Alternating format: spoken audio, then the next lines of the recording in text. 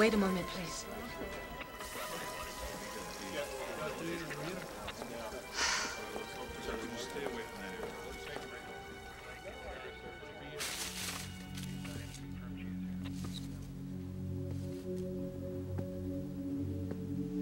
David?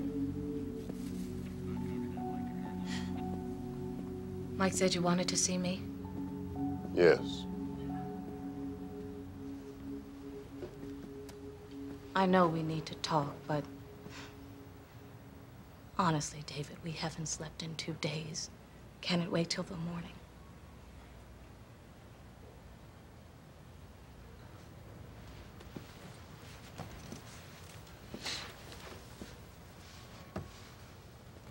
We've had a rough day.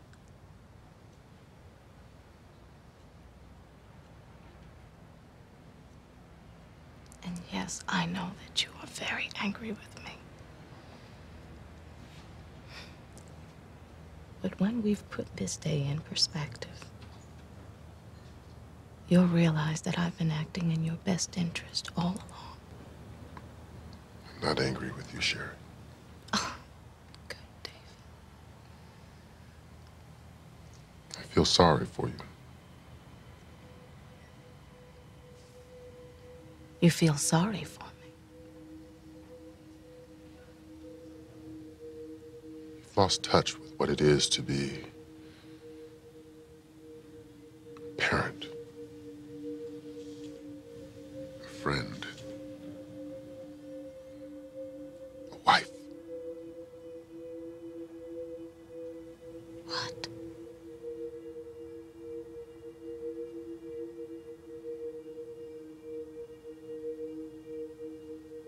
tonight, I don't want to see you again.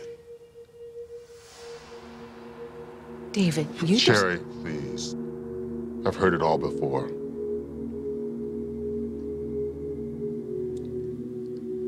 And I don't care what this may do to my candidacy.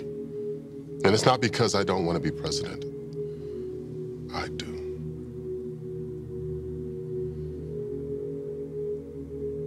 Just don't think you're fit to be the first lady.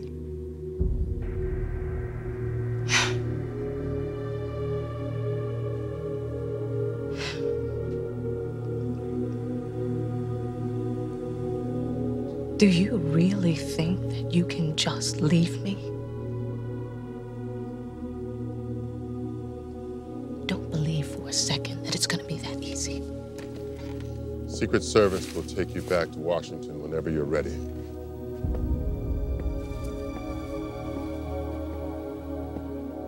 David. David, you just don't walk away from me.